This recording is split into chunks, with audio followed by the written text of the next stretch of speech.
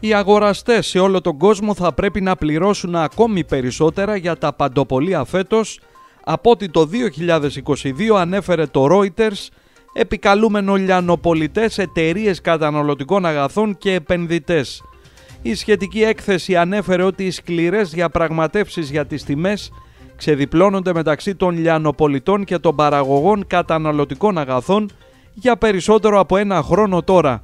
Η κατάσταση επιδεινώθηκε το 2022 καθώς οι τιμές των βασικών τροφίμων επιδίνωσαν την κρίση κόστους ζωής στην Ευρωπαϊκή Ένωση αλλά και το Ηνωμένο Βασίλειο. Τα στοιχεία της ερευνητικής εταιρείας Κάνταρ δείχνουν ότι οι Βρετανοί πλήρωσαν 16,7% περισσότερο για φαγητό τις 4 εβδομάδες έως τις 22 Ιανουαρίου φέτος σε σύγκριση με την ίδια περίοδο πέρυσι.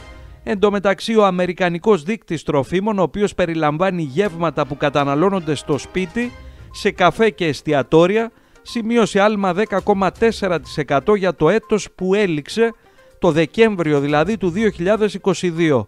Ο διευθύνων σύμβουλος της Nestlé, Mark Snyder, δήλωσε στα μέσα ενημέρωσης την περασμένη εβδομάδα ότι η εταιρεία θα πρέπει να αυξήσει περισσότερο τις τιμές των προϊόντων διατροφής της φέτος για να αντισταθμίσει το υψηλότερο κόστος παραγωγής που δεν έχει ακόμα μετακυλήσει πλήρως τους καταναλωτές.